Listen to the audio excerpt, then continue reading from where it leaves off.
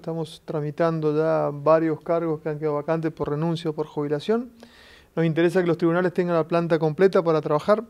Eh, no solamente es, el recurso humano, también el tema informático nos preocupa. Ya hemos una, licitación de casi 500 computadoras. Eh, a, San Rafael le ha tocado todo el reponer el parque viejo que tenía. Estamos ahora con una licitación nueva de 500 computadoras más que, esperamos este año poder adjudicarlo junto con monitores, porque el expediente electrónico nos trae la necesidad de tener doble monitor para poder trabajar más cómodo.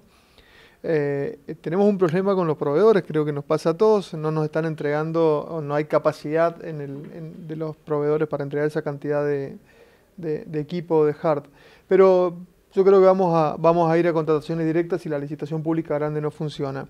Y en cuanto a lo edilicio, como dice el doctor, estamos autorizando una licitación pública importante para poner, eh, digamos, para remozar todo el Palacio del Sur y también hemos encaminado algunos procesos licitatorios para eh, arreglar eh, edificios que son propios, como el del Juzgado de Paz de Montecomán, que la verdad que pasé el otro día y no, no, me gustó el estado que estaba y hablándolo con el juez decidimos encarar ese proceso de reforma. ¿Tuvo oportunidad de visitar la cárcel y la colonia penal? ¿En qué estado están?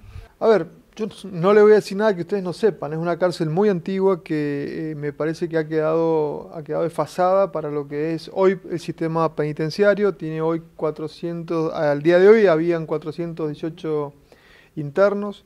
Eh, me comuniqué con el director del servicio penitenciario porque eh, nos había planteado en algún momento la posibilidad de ir eh, reconstruyendo la cárcel por módulos, entonces em, veríamos la posibilidad de que por un tiempo, mientras las obras duran, por pabellones vamos trasladando a los internos a, la nueva cárcel que es Almafuerte 2 y por los meses que dure estén ahí y vamos haciendo de esa manera las reparaciones que necesita esa cárcel. Una cárcel que la verdad que necesita necesita ponerse, digamos, a tono. Eh, me parece que las condiciones de detención no, no son las óptimas.